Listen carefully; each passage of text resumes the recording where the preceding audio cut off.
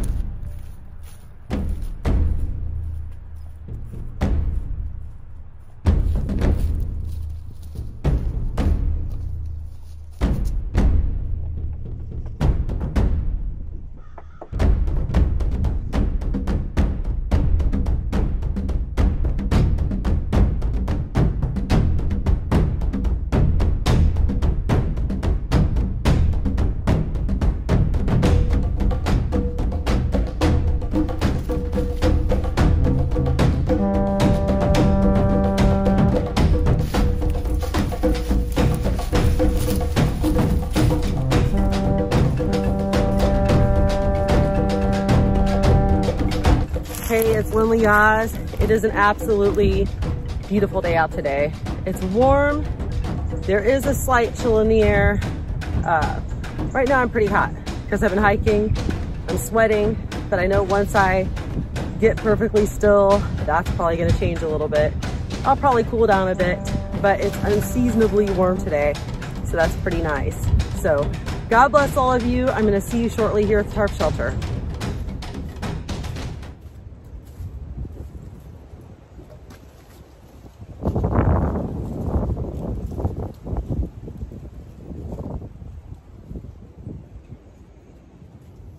Hi, it's Lyn Leahz. And I know we probably have somewhat of a weird angle here, but I was trying to get the fire more in the camera than what I usually do. It's nice out today. I've got my coffee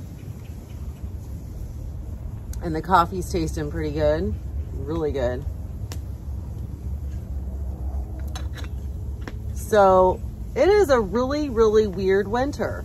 I may have mentioned this before, but we have not had any snow except for twice. And both times that we had snow, I recorded. And the first time when I recorded, it was weeks and weeks ago now, there was a decent amount, but nothing overly huge. It looked like more snow than it was back here. And then the other day when I filmed, it was last week back here, there was just a little bit of snow coming down. That's all we've had. And today is supposed to get up in the 60s, I believe. And here it is, the very beginning of February. So it's pretty crazy. I don't remember having a winter time with this little snow. So I'm not complaining, but I mean, I do like nice weather, but at the same time, I think the snow is pretty. And especially with doing the filming back here at the tarp shelter, it's really nice to have some snow. So this is our next episode of Truth Hunters.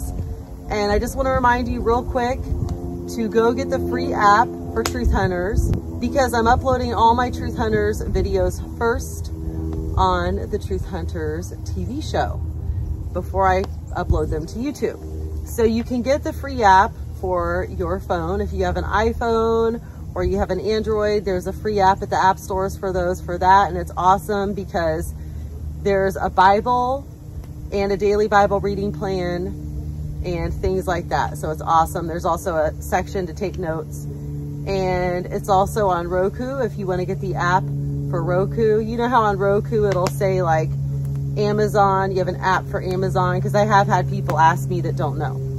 And then there's one that says Netflix or whatever. So you do a search for the Truth Hunters app and you'll find it there.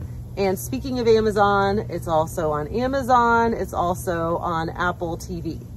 So be sure and get the free app. The benefit, like I said, is that there is tons of censorship here on YouTube. That's why the Lord has led me to go to TV. So the benefit is that eventually they're going to censor more and more of my videos. It's going to get worse. And you can see it first on the Truth Hunters TV show. So be sure and get the app. So today is just really, really pretty out, really nice.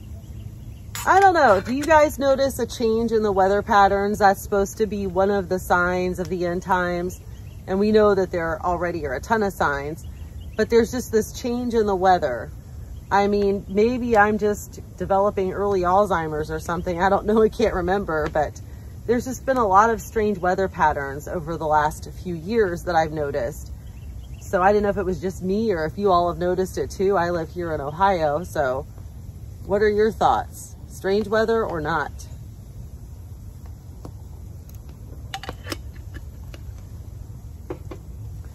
So it's really a lot of work to get back here. Don't get me wrong. I enjoy it. It's fun, but it's a lot of work to do this back here at the tarp shelter. So this is my studio nature is my studio here. Perfect lighting. It's great to sit back here with all of you and hang out with you all here on video and just share the truth of God's word with you, whatever he lays on my heart.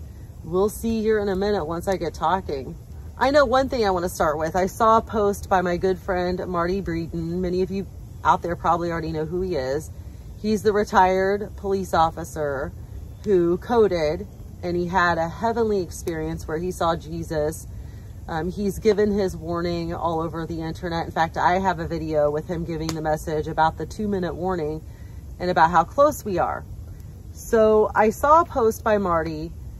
Not only did Marty tell me about it, but my mother copied me on it and sent it to me in the email. And it's basically talking about, and Marty, if you're watching this, I'm not trying to misquote your post, but I didn't print it out first because I didn't know I was going to talk about it. But it's basically talking about evil assignments, demonic assignments. And these demonic assignments are people who are assigned demonically to people who are truly walking with the Lord, particularly people like Marty or myself or anybody who has a voice in the ministry who's really reaching a lot of people. So these people that are demonic assignments basically are assigned to those of us doing that. And I don't know that you have to be in the ministry or reaching a lot of people. Maybe it could be somebody that's potentially just walking with the Lord and the enemy's really trying to make you stumble. I don't know. But you have to remember anyone who has a voice for the Lord and is reaching a lot of people is a humongous threat to the kingdom of hell.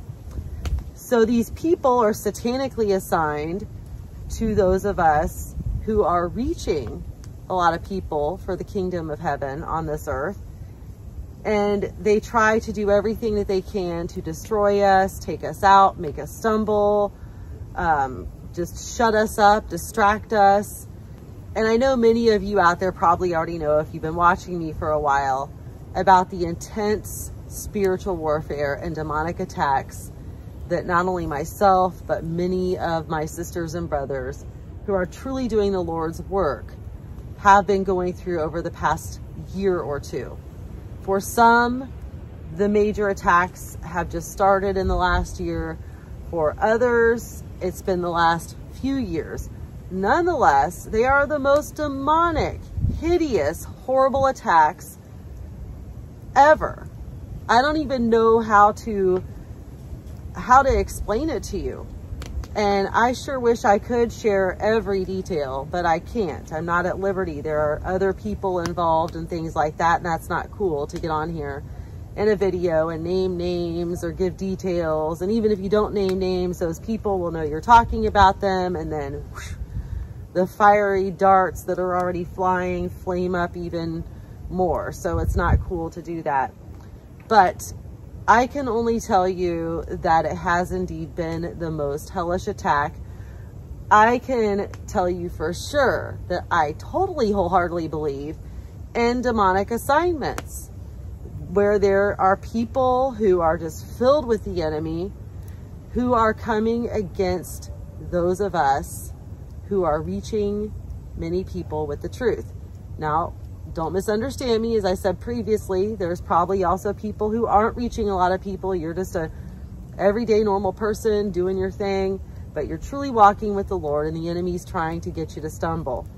But right now I'm just focusing on those of us who are reaching a lot of people with the truth of God's word.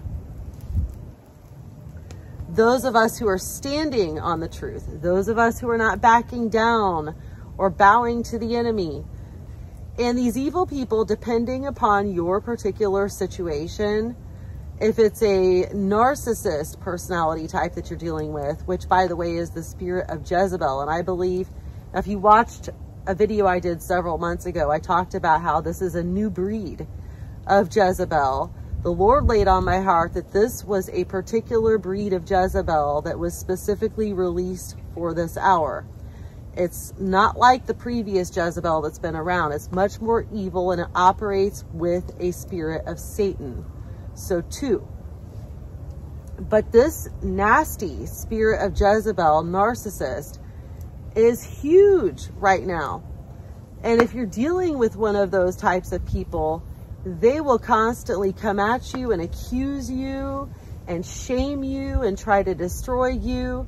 And then when you try to get rid of them, they will come back and pretend to be your friend and act like they are just your best friend in the world and they just love you and care about you. And they'll basically, I don't know another way to put it, they'll kiss your butt. And they'll lure you back and they lure you back just so they can wait for a time. Some do it right away. Some wait a few weeks. Some might wait a few months. But they lure you back and then they wait for a certain amount of time and then they suddenly start acting like a narcissist again, just being evil and cruel and horrible to you. They play with your mind. They make you feel like you're just this horrible person. Everything's your fault. They never apologize. But here's what I was going to say that the Lord revealed to me. They make you apologize to them constantly. If you don't apologize, even though you don't know what you did, and you don't apologize, and you don't make peace. In fact, when you do apologize, they'll usually give you more heck over it. They'll treat you like scum of the earth for a while when you do apologize. But they'll force you to apologize. And if you don't apologize to them, life will be complete hell for you until you do. They will silence you. They will give you the silent treatment. They will be abusive to you. They may, I don't know, go dark on you, do whatever till you come to them and you apologize to them. Now, don't get me wrong. The only way to get rid of a narcissist is to go dark. So going dark doesn't make you a narcissist. By going dark, that means you go no contact. That's the only way. And when you go no contact, it drives them nuts. And they will try to reach out to you and try to get a hold of you. And they will pull at every heartstring you have until you respond. And that's where it gets really hard. This narcissist Jezebel spirit is so foul, so horrible, so hideous that worldly articles, even worldly reputable psychology articles refer to it as an epidemic. That's right, an epidemic. Now you may be sitting there thinking narcissism is uh, somebody who likes to look at themselves in the mirror and it's all about their looks. No, go research it. It is much more than that. It is about projecting themselves onto you. It is about gaslighting you. Like you, you confront them kindly with something and they will suddenly blow up at you and start cussing you out, calling you names, accusing you, turn it around on you and bring things up you don't even know you ever did because you probably didn't. They'll make it up or they'll twist it to where it's something that you did but you didn't do. And by the end of it, you're wondering what this all got started with to begin with. You've now forgotten what it was, or you're too scared. You're too scared to continue addressing them with whatever it was that you were trying to address because they've just blown up at you and rejected you. They'll storm off angry at you and then you have to apologize. In fact, it can even get so bad that you have to write them an email or speak to them verbally. They prefer something written, by the way, so they can use it against you.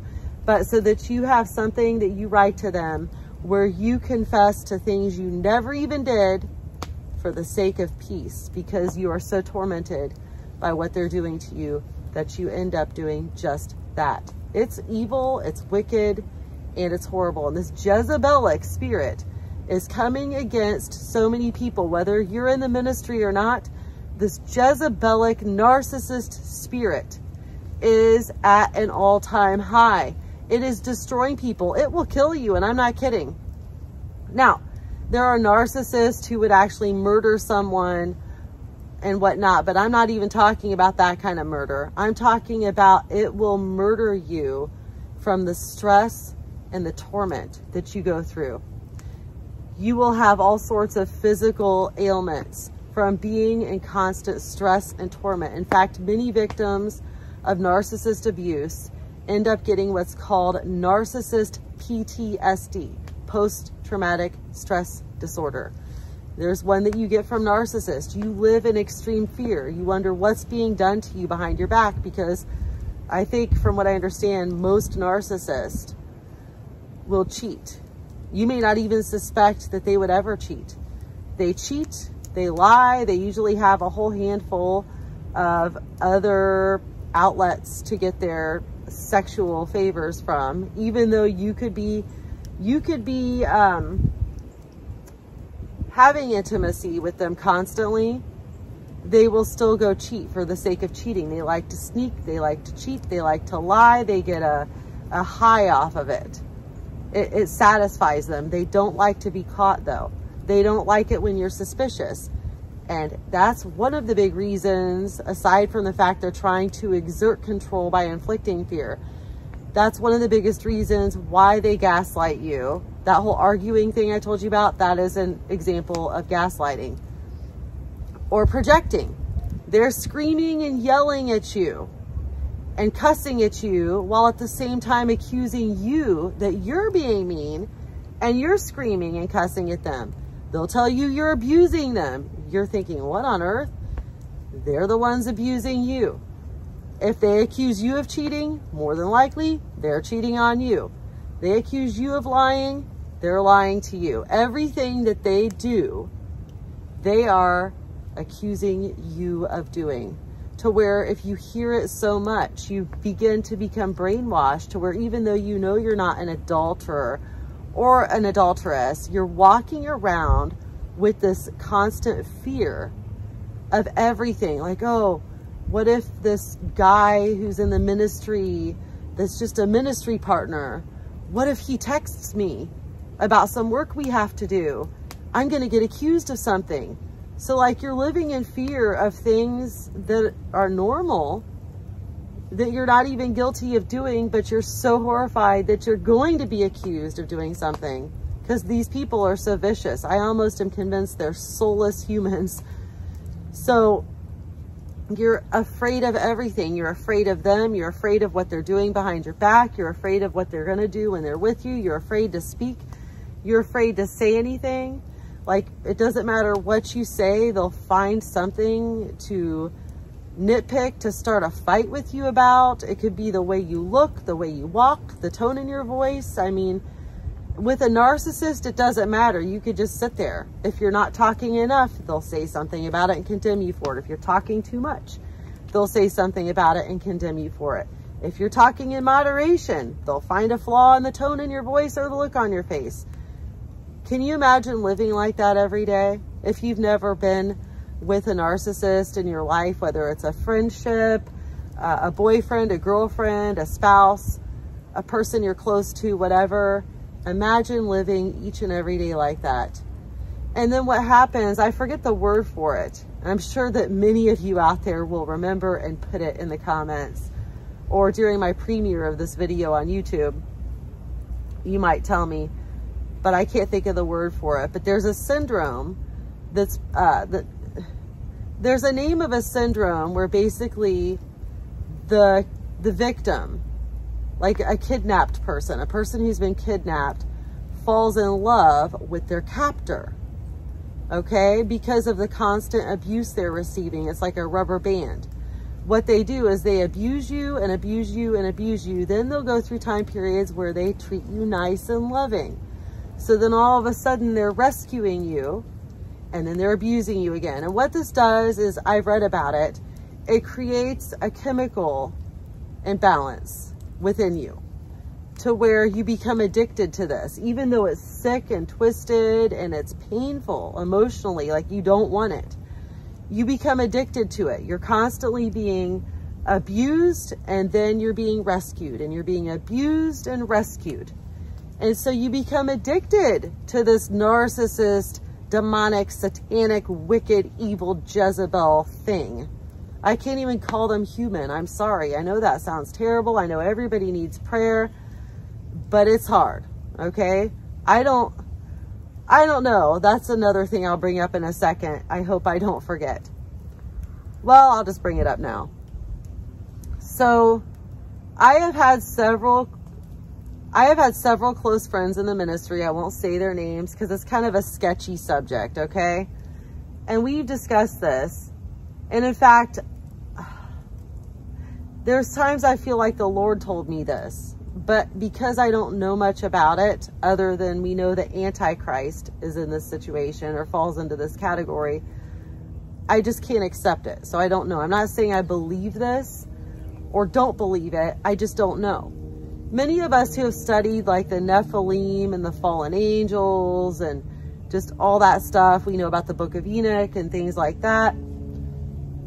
We know there's some really crazy stuff that the devil can do. And we know that the enemy, Satan, mimics everything God does. Of course, it's not like God's things. It's always evil. And the end result is always evil we know there will be an antichrist the antichrist that is. There's many antichrist spirits but there's going to be the antichrist and the antichrist is going to be satan in the flesh okay? It's going to be a man's body and just like judas iscariot satan comes and dwells inside of him. So there's going to be that. So that being said this is really weird okay? I don't want to get a bunch of garbage for this because I'm not saying I know this for sure or that I totally believe it. In fact, I just admitted I struggle to believe it because I don't know much about it. But, and I'm going to have to tend to the fire in a second. But, um, is it possible, is it possible that there are actually, oh, well, wait, before I say that, the Bible tells us we never know when we are entertaining angels unaware. Doesn't tell us what kind of angels. It just says angels. And we know that heavenly angels can take the form of flesh and blood human beings. They can speak to us, do things for us, whatever. If that's the case, is it possible that there could actually be people on this earth that were actually brought into this world for this time period that have been alive and well and living who at the time of conception, instead of a human spirit, they were instead given a demon spirit. And I'm not saying God gave them the demon spirit. I don't think God would do that, but maybe he allows it because we know that God does allow evil to fulfill his purpose. He allows evil for many reasons. Is it possible that there are actual human beings body-wise, who don't even have a human spirit. But instead, they actually have a demon spirit, like a demonic prince. I don't know. I mean, that's one of those weird things. There's very little in the Bible about it. Like I said, we know about the Antichrist. The Bible says there will be many Antichrist. Okay? There will be one Antichrist, but there will also be many spirits of Antichrist. So we know that this Jezebelic spirit especially this one that we're seeing today, is definitely an antichrist spirit, okay? And we know that the Bible tells us we never know when we are entertaining angels unaware. Of course, that doesn't tell us that they could actually be humans that have been born into this world with an angelic spirit. So there's very little in the Bible about that. So I guess what I'm asking, because this sounds totally crazy, is it possible that some of these demonic assignments, are they demon-possessed human beings who are just totally filled with demons? They do have a human spirit, but they're just taken over by demons. Or is it possible that there are actually demons that have a human body? Now here's the kicker. When the Lord was speaking this to me, or I feel it was the Lord, like over 50 times, I was in a particular situation. And you know how you know when the Lord is speaking to you. But this is so crazy sounding to me that I've had trouble accepting the Lord told me this. So that's why I say I don't know. But the other thing that was spoken to me, there are some who know what they are because if God chooses to allow it to be revealed to that person's brain, then they know. But there are many who don't know what they are. Like these people think that they're humans. See, you have a flesh brain. Your flesh brain only knows what has been put into it in this life. And if it's anything spiritual, it's only because God has allowed that to be revealed to you. So your flesh brain isn't going to necessarily know. Your flesh brain is separate from your spirit brain. So the spirit brain of these people knows what they are, but their flesh brain does not know because it hasn't been revealed. They think they're just normal, everyday human beings living on this planet. So just an interesting question to ask. I'm going to tend to the fire while you're thinking about it. Of course, you're not going to miss me because I'm going to be right back here in the video. So let me tend to the fire and then we'll continue this discussion. I'm going to cook some eggs real quick. So I've got a little bit of butter. Hopefully you can see okay here. Well, I guess it's more than a little bit of butter. But I got some butter here and the pan. Woo! Now that's hot. Look at that. That's what you call flaming. Take my heat glove here. Ooh, man.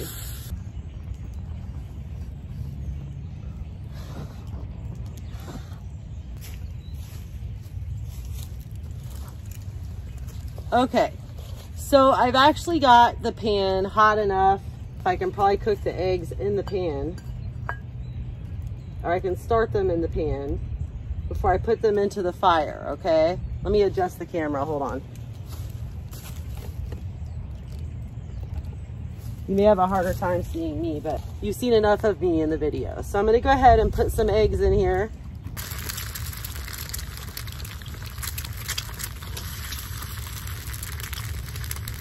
That pan's so hot. And you can cook the egg just near this fire. Wow. I also brought some bread and I'm just gonna lay my bread on a rock. I don't really care because you can actually cook a steak or whatever on the hot coals and be fine. Let's see if I get this a little closer. Hopefully you can still see it. So the eggs are cooking. I've got my spatula. Let me go and put this on here. I got two pieces of bread. It's gonna be toasty. I don't care when I'm out camping and whatever. I don't care if I get dirt or ash on my food. I mean, it's just part of being outdoors. I'm gonna use my foil as a plate, I guess, in the pan because I also forgot to bring my plate.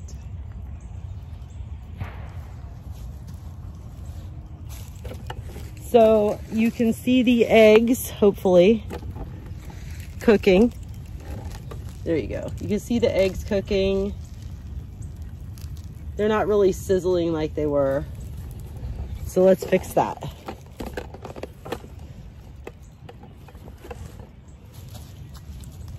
So we're gonna fix that. It's just really hot by this fire.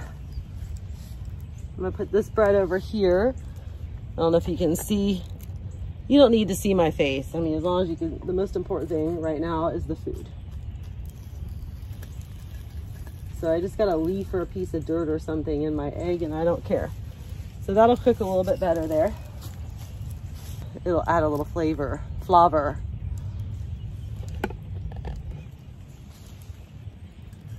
So I can't hold this hot cast iron too long though. Because even though these are special fire gloves, See what happens? So we're gonna get those eggs toasty. and then turn them.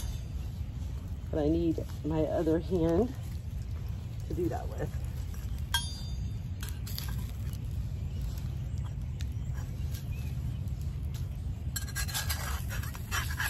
Smoke in my eyes.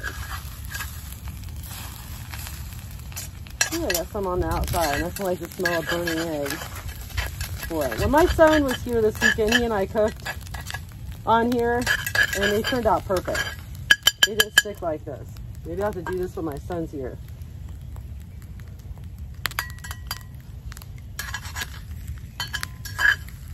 It more like a scrambled egg. Let's see how my bread is doing. Oh, my bread's actually toasting. Oh, wow, look at that. Check it out. Toasting the bread. This is gonna be good. I wish I had some bacon too. I know I have a lot of pork fans out there. You guys, my pork fans who get all excited when I cook pork product and say nice things to me. I didn't want to offend anybody, so I didn't bring bacon. There's some people that get offended over that, so. All right, I think these are done. I'm gonna set it aside, set it over here. My bread's still toasting. And then here you can see. Actually, I'll just drop it lower so you can see it better. There you go. I think I'm gonna go get my, uh, my spork. Okay, so now I am sitting Indian style on the ground, on the dirty ground. And I think my pan's okay to hold in my hand now. But here is my egg. I've still got the sniffles from this cold. It stinks that I didn't bring my seasoning though. The egg's still cooking. It's gonna be hot. I'm gonna sit that down, it is hot. Actually, you know what I'm gonna do? I'm gonna put it on the foil. Hold on. I'm gonna have to make the leg up here a little bit bigger to even out the camera somewhat. There. Now it's more even. All right. So I backed away from the fire a little bit. My toast is about done. It's easier. I don't want to burn any more holes in my fire gloves. So I'm taking out the remnant of the egg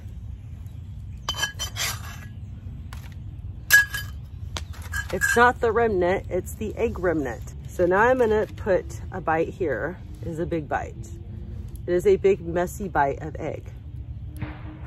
It's like a gunshot.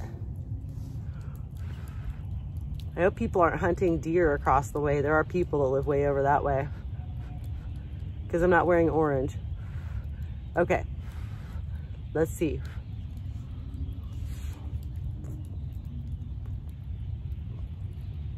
You know what?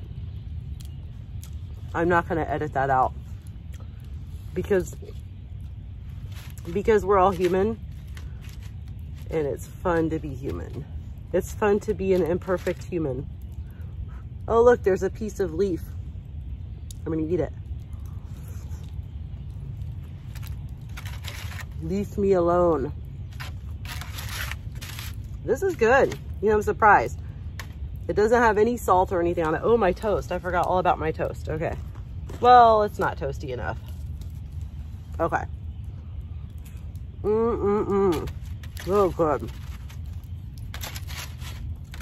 I know it's nothing fancy. It's hard to get anything fancy back here. All right, here comes a big bite. Choo, choo, choo, choo, choo. The train is choo-chooing. On purposely being, oh my God, it's hot. My knees are getting hot. I'm purposely being nerdy because it's fun. Oh, look at this piece. This is fun. Watch this. Oh, you know what? I forgot to pray about the food. Father God, in the name of Jesus, forgive me for not praying first, but thank you for this food that you have blessed me with and let it be a blessing to my body and let it be a blessing to those watching it that they might not be yoked together with unbelievers. All right. Thank you. In Jesus' name, amen. Mm -mm -mm. You know, I've never really been one of those women. Okay, well, I take that back. when I was younger, like, uh, I don't know, teens and 20s, early 20s, I felt like I had to look perfect and be perfect all the time. And I remember I went on a date. You know how when you're younger and you go on a date with somebody for the first few times, especially the first time, and you go out to eat at a restaurant and you're trying to be really careful. Every time I did that, something inevitably happened. So, so one time I was eating something Italian. I usually would get salad, but I decided to eat something Italian with chicken in it. So I went to take a bite of the chicken and as soon as it got to right here, instead of going in my mouth, it rolled off the fork down my shirt and went inside of my bra that was way too big for me. You know, one of those bras, you gotta look like you have something. So it rolled inside my bra and I had to pick it out. But that wasn't as bad. I think it was at the same date when I walked into the place. There was some, one of, you know those women that just look really good and all the guys are checking her out. You can tell she's doing it on purpose. And she's wearing the mini skirt and all that, trying to walk like all like, I'm, I'm hot and I knew it. So she's walking like that and she has a big streamer of toilet paper hanging out her dress down to the floor. I have to admit I laughed. I thought, ha ha ha. I know that's terrible. But uh, yeah, but those are like those embarrassing things that happen at restaurants. Another time, during my party days, when I wasn't living for the Lord. Am I talking with my mouth full? Mm. So, man, my knees getting hot. In my party days when I wasn't living for the Lord, this would be better with butter on it. I was sitting there drinking a beer. I was at like a, like at one of those bars that has a dance floor. I don't even want to tell you about things I did then, but I'll tell you about this. So there was people there from my work, a nurse, because I was a nursing assistant. And she's sitting there with her husband. I'm trying to be all nice and I'm talking. And I talk with my hands, if you've noticed. So I'm talking with my hands like that. And my hand hits her husband's brand new beer, knocks it over. It goes flying toward him, dumps over right in his lap. Mm, I got brownie points for that. I'm just joking. Boy, and she was like the mean nurse at work, the strict nurse that everybody was always kissing her butt to get on her good side. I probably made her really mad. So I did that. Then another time I drank too much. When I was out there trying to show off on the dance floor, I had these big clunky high heels on. I'm twirling all around. And I almost fell. Serves me right. I was like the girl with toilet paper. That was my situation where I was almost as bad from an embarrassing perspective as the woman with the toilet paper. Lyn's funny moments.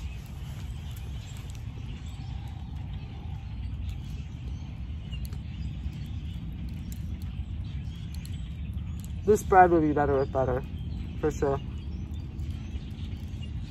I was trying to think of some more funny moments.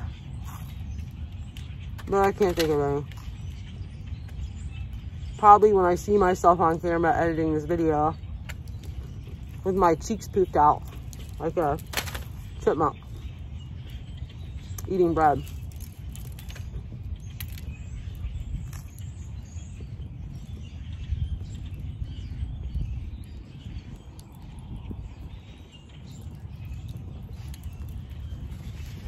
Oh, I can think of some really embarrassing ones. But they're too gross. They're way too gross and some people would get really offended if I told it. It has to do with things that people do that they don't do around other people. And that you either blame on the elephant under your chair or you try to blame it on somebody else. Oh, here's a good one. It's kind of gross, but at least it doesn't involve that other thing. So this was when I was in my late teens, early 20s. I was at the grocery store and my nose starts running and I literally have nothing to wipe it with. Nothing. I mean, it was like right there about to come out. And so I looked around to make sure nobody could see me. And sure enough, nobody was around. So I went like that to wipe it, like flicked it, and it went flying. And uh, I think it landed on a cereal box. Um, I looked up and it was at Kroger. There was like a camera right there. So I hurried up and went into the cash lane and paid and got out. That was embarrassing. Anyways, I guess it's time to go. I have only very little bread left. Maybe we'll do another Lyn Leahz embarrassing stories another time and cooking. God bless all of you. Let's get back to the message. This has just been a little break for the message. So we're going to get back to the message. Are there demons walking among us? Believe it or not. You can choose to believe it. Believe it or not.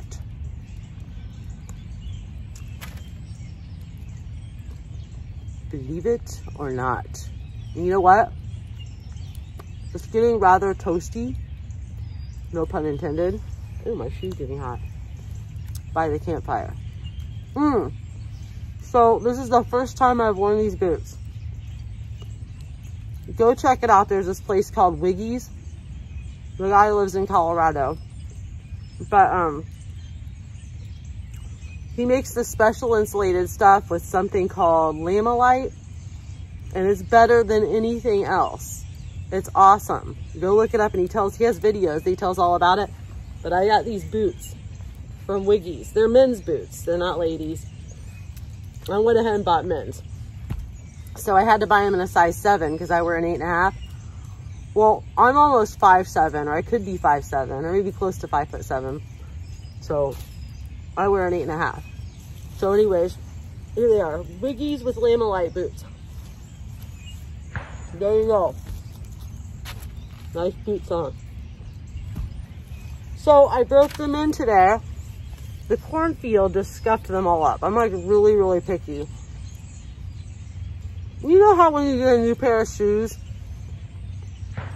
and you, it's like a new pair of white gym shoes. Um, don't want to get anything on them. So I didn't want to mess up the leather. So I decided to break these in and wear them. So that's my Wiggy's boots. And now we're gonna go back to the show. God bless all of you. And thank you for joining me for eggs and toast and embarrassing moments with Lyn Leahz and bread on my face.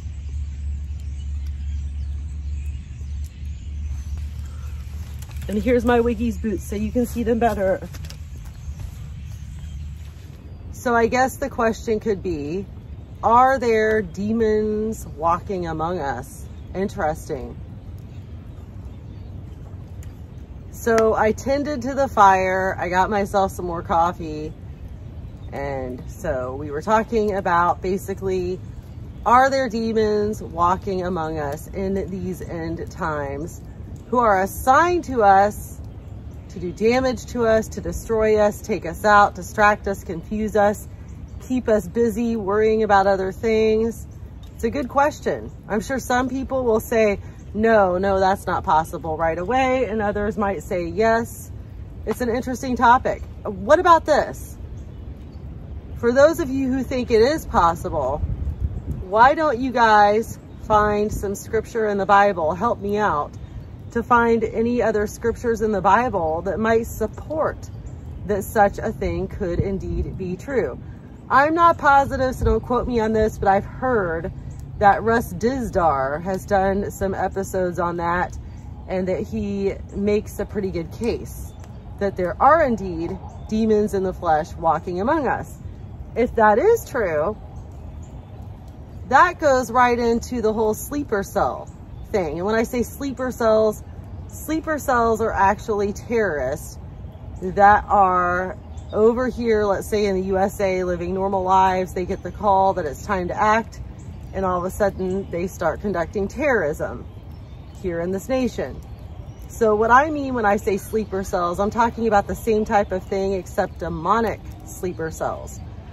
Are there these people who have been born into this world for this time, who are actually demonic entities in a body of flesh. Many may not know what they are because remember I explained how the flesh brain is different from the head brain. So many don't know what they are. So if that's the case, that would also make more sense about these demonic sleeper cells. They're all of a sudden becoming more intensely evil. I know people who were with somebody like maybe married for years and years and all of a sudden out of the blue here in the last year or so approximately their spouse just suddenly changed like turned evil it's really weird and i'm not kidding i know a lot of people that has happened to and then there are those of us who married somebody believing they were something else. And then once we were married to them, they suddenly changed. But they were already evil to begin with. Well, they're all already evil to begin with. I think you know what I mean. I'm hearing thunder and I didn't bring my rain poncho. Good thing it's not freezing cold and that I'm not super far from my house. So the question again is, are there demons walking among us in the body of flesh? Ooh kind of freaky. Or are there human beings? Oh my gosh. That is like a massive, massive, like hundreds of birds. Wow, I wish you guys could see them. And I am hopefully under the tarp. Oh no. They like to fly over me when I'm out here and then they start pooping. You can probably hear them. Anyways, are there tons of demons among us in the flesh or are there just demon possessed people in the flesh? I'm gonna turn the camera around and let you see this. Hold on.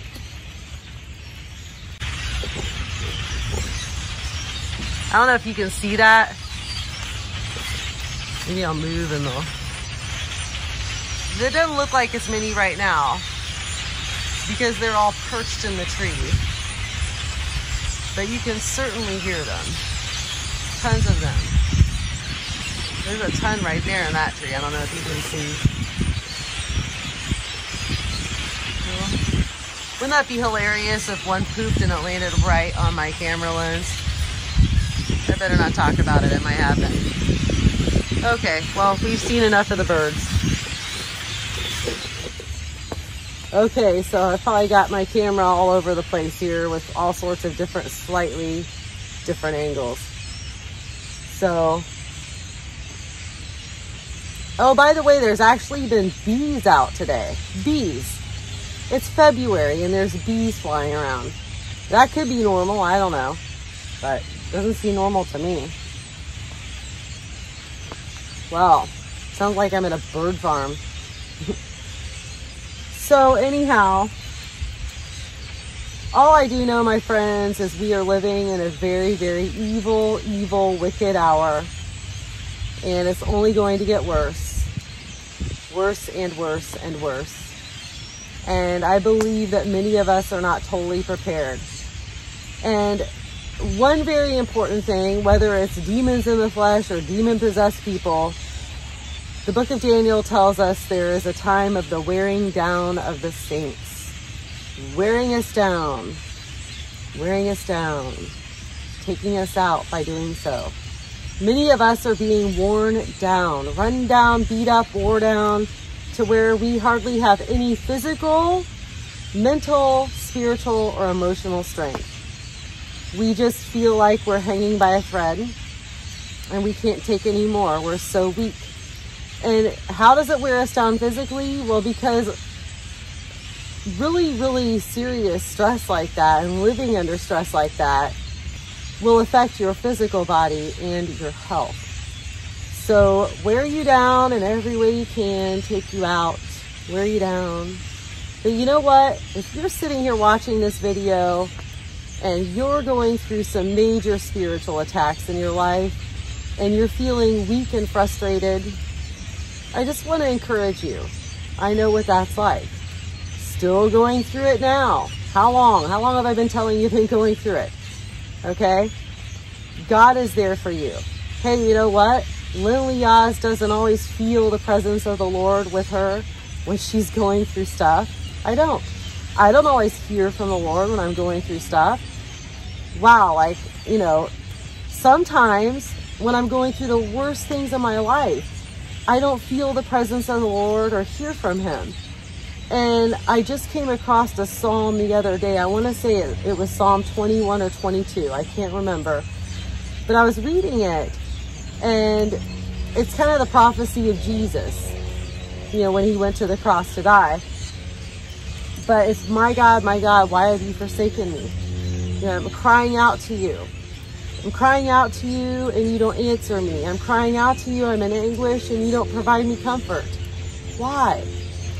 And that's what many of us are asking. Why? Why is it during some of our toughest times that we feel like the Lord isn't there? Well, the Lord is always telling us that we need to have faith and trust Him.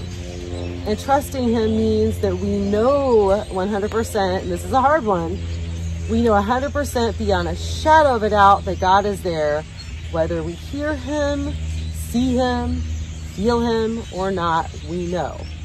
And that we have to trust that He will get us through.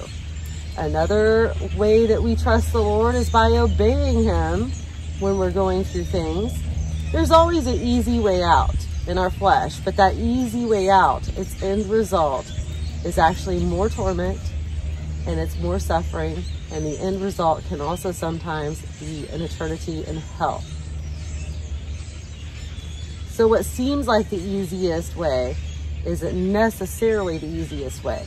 For instance, if you are with one of these Jezebelic narcissists, okay, I urge you to flee. If you don't believe, I mean, whether or not you believe to go get a divorce, I mean, if you're actually being destroyed, emotionally and mentally. This is my opinion, okay? I know some of you are going to argue with me about it. But the Bible says, the Bible tells us that a man would lay down his life for his spouse, okay? Or give his life for her.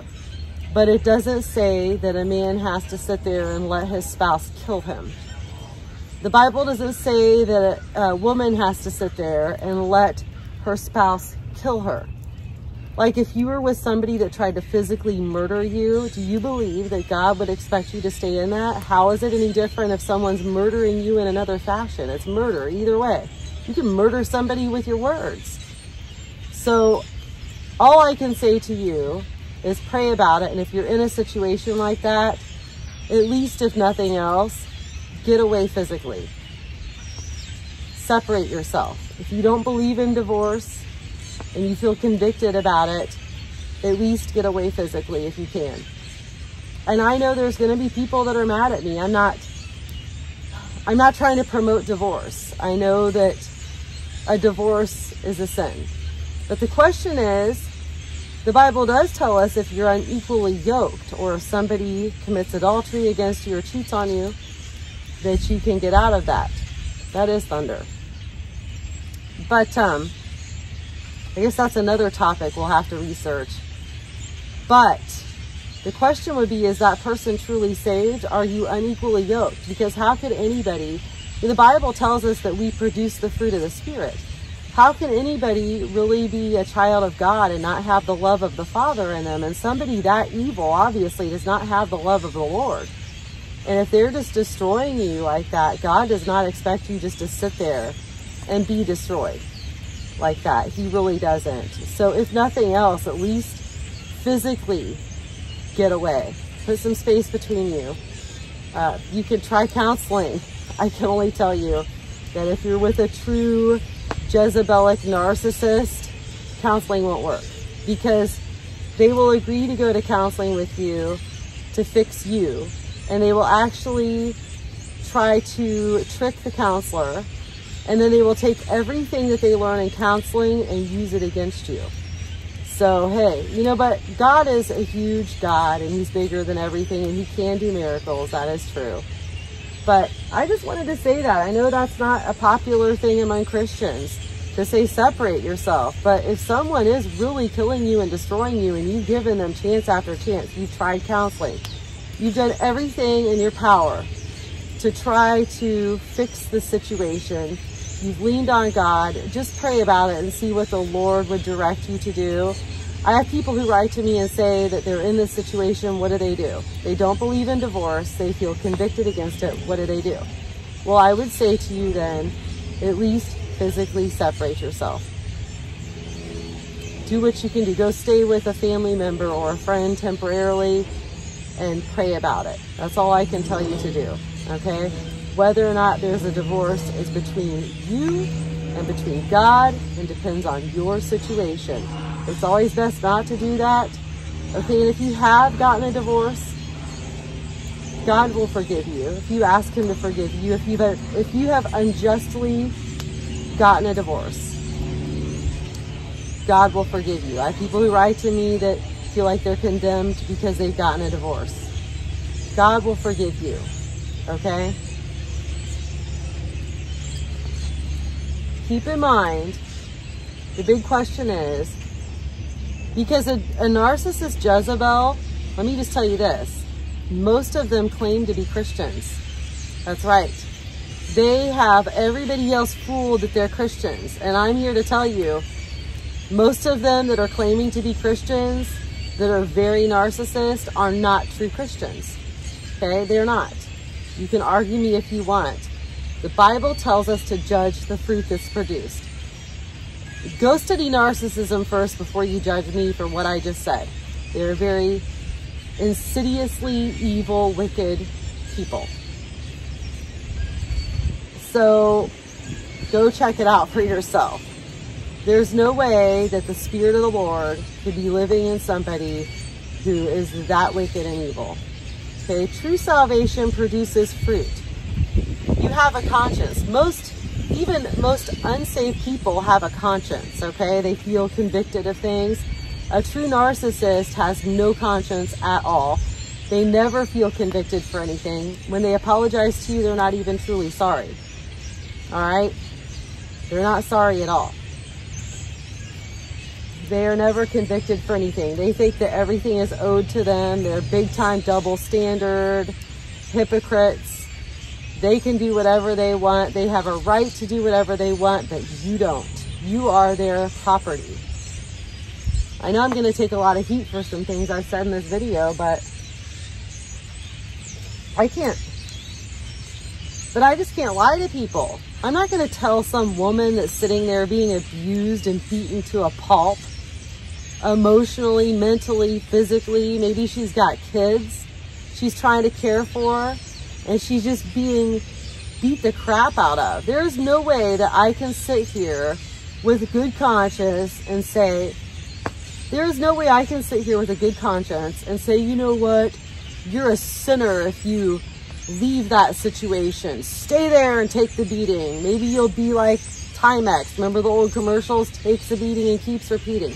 How can I, as a Christian, with the Spirit of the Lord in me, sit there and tell somebody that and have a good conscience about it. I can't.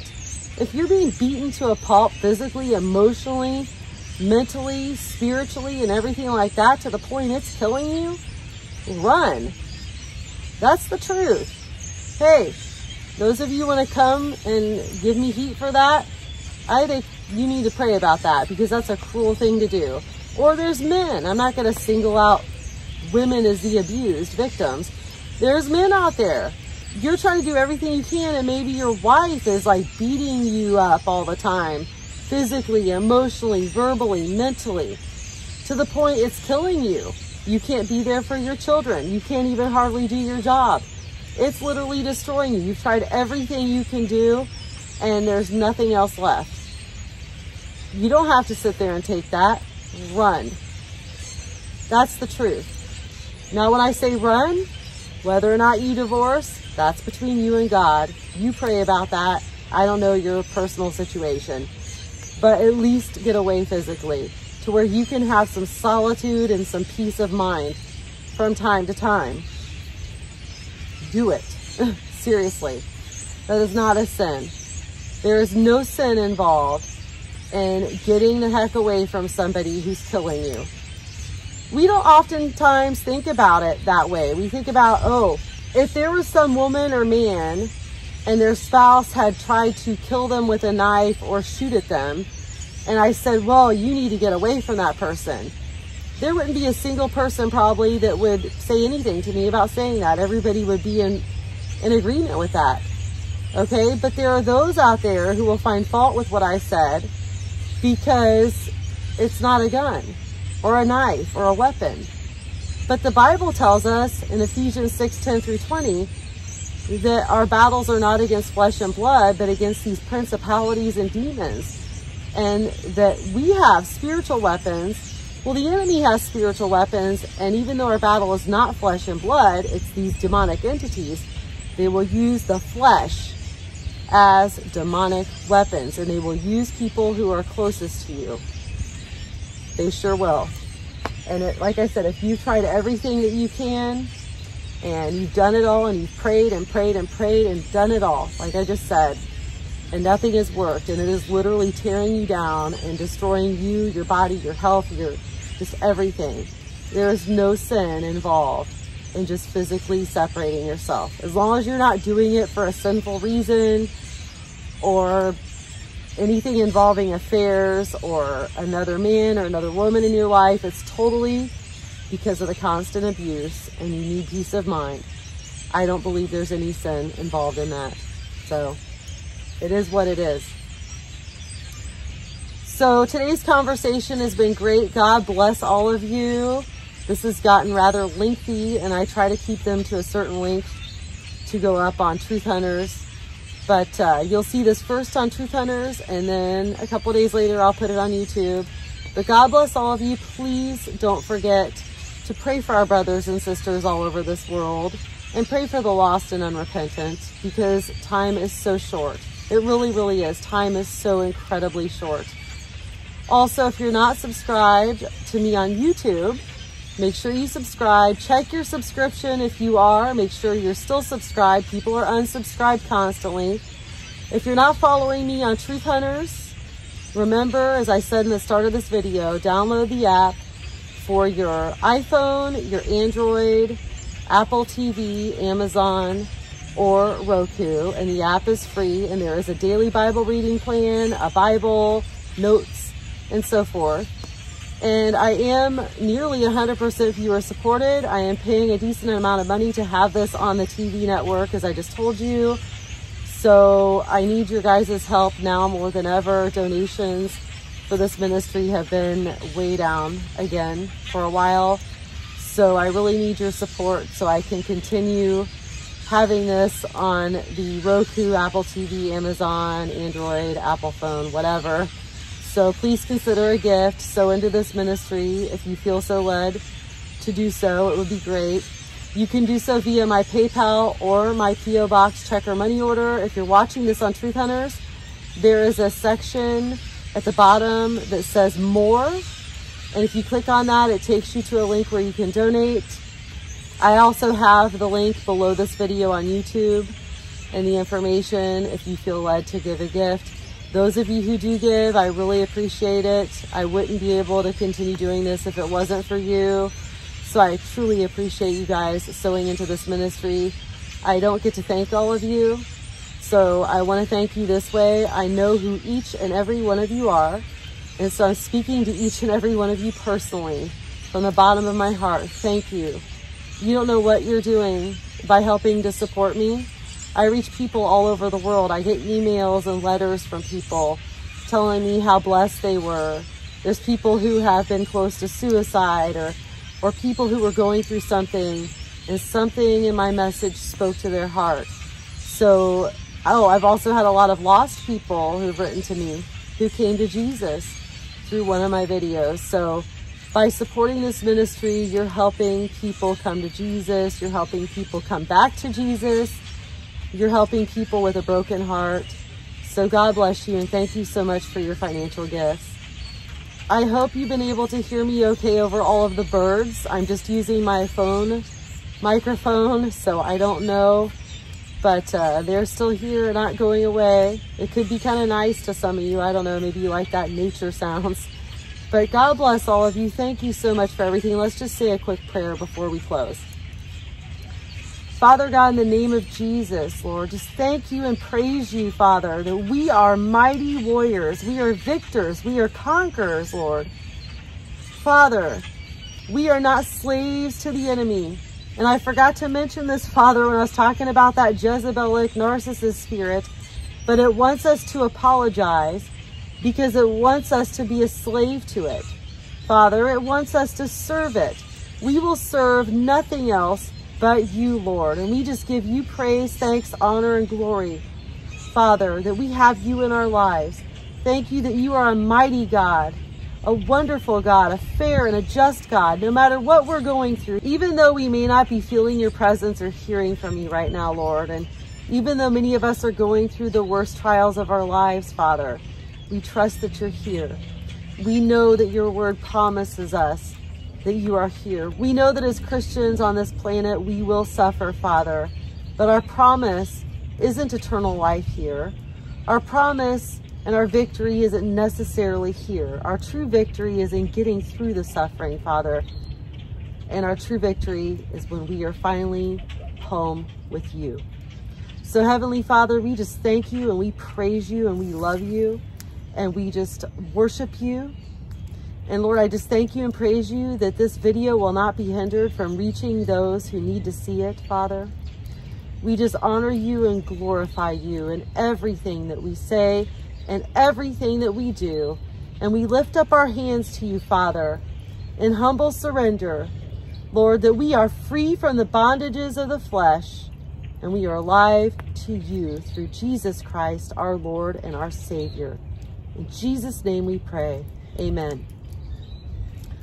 Well, amen, everybody, and God bless you. Please be abundantly blessed. And please, please know that the Lord your God does hear and has heard your prayers. He has collected your tears. He is right there with you, going through it with you, even if you don't feel him or hear him.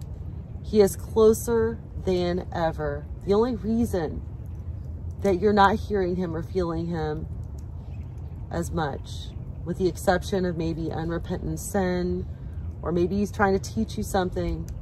But other than those things, is because we are in the end times and spiritual wickedness here on this earth is at an all-time high. You have to remember, Ephesians 6, 10 through 20 tells us that it's principalities and powers of darkness and of the air. Okay, sometimes those things can block our communications, especially when we're going through it because other forces are at work. So you just have to be strong in the Lord and you have to trust him don't take your suffering to mean necessarily that God is angry with you. That, that may not be the case, okay? If you've repented for your sin and you're truly trying, okay, repentance doesn't mean you're necessarily perfect. It's a condition of your heart. And you're really trying and you're just still going through hell. God isn't angry with you. God loves you very, very much. He just wants you to surrender your life to him completely and totally and trust in him and wait on him. Be of good courage, and he shall strengthen your heart. Wait, I say, on the Lord. So go forward after you watch this video. Go forward with the Lord. Stay on the straight path, the straight and narrow path, because the straight and narrow path is the one that leads to Jesus Christ. The wide path is the path in which the lost will take. Stay on the straight and narrow because only few, my friends, will enter in through the narrow gate. God bless you.